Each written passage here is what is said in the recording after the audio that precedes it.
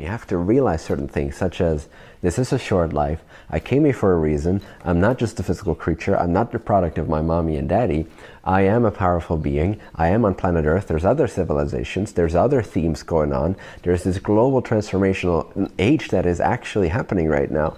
How do I wish to be a part of that? How do I wish to contribute to that? Know, first of all, that you have total capacity to be a part of that whole transformational thing.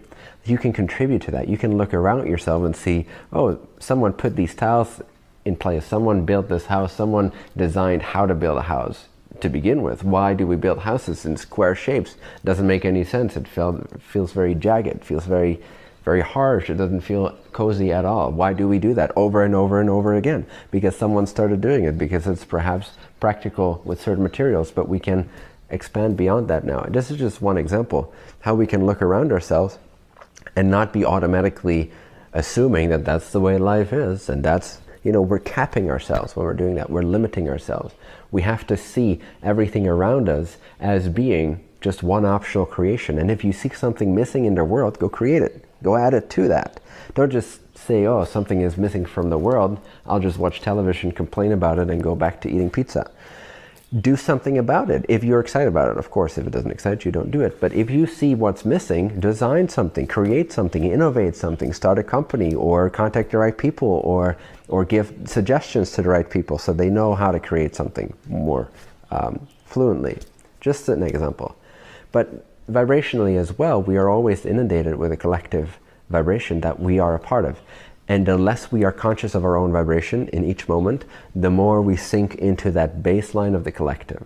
That's why if we don't ask ourselves for too long, like what excites me? What do I want to do? What is really truly adventurous to me? What expands me? What aligns for me? If we don't ask that question for too long of a period of time, we will naturally have our frequency drop into the collective unconscious agreement of what's assumed to be reality. And then we're limiting ourselves. We're limiting our joy, we're limiting our sense of what's possible, we're limiting our sense of being alive. So we need to put that ultimatum on ourselves as if we're 100 feet below the surface of the ocean. Now, what is your most important thing in this moment? What's the most important inclination you have? What's the highest inspiration you have in this moment? What if the only thing that could save you or could bring you up vibrationally from 100 feet down and could save your life and have you breathe oxygen again? What if the only thing at 30 meters down, imagine that, being 30 meters below the water surface, looking up and seeing those tiny little people over there and having one breath to get there? What if the only thing that could get you up to the surface was you being aware of what truly inspires you, what's important to you, and making no concessions on that, letting no distractions come in when it comes to that? And then allow yourself to be elevated in that way because you are now creating your own frequency, choosing your own vibration, your own vibrational paradigm, rather than just letting the collective choose things for you or the people around you, perhaps, or mommy and daddy in the back of your mind. If you manage to prioritize, you don't need any dangerous sport or, or life threatening situation to get to that single mindedness of clarity where you make no concessions on who you are even if it doesn't get you accepted into your communities. You don't care. You just don't care. Like it doesn't matter. It just doesn't matter. Because if it does matter to you, you'll drown. You need to not be concerned with these things. And again, if you're 30 meters down below the surface of the sea, then you have to. You, ha- you have no other option. You wouldn't be thinking, oh, what does you know this person think of me, or why don't they like me? No, you wouldn't. You would only think of your highest inspiration. If you apply that to everyday life, then you've got a golden ticket. You can do it anywhere, anytime.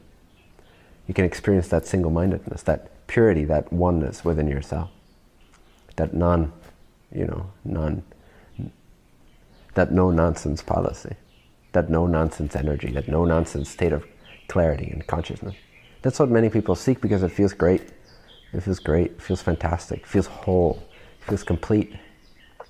You feel simultaneously at peace, deeply at peace, because you know you're doing the right thing, because you know you're in alignment, and you're feeling simultaneously passionate, excited, and available to what's next and to what shows up as the most in alignment aspect of your life.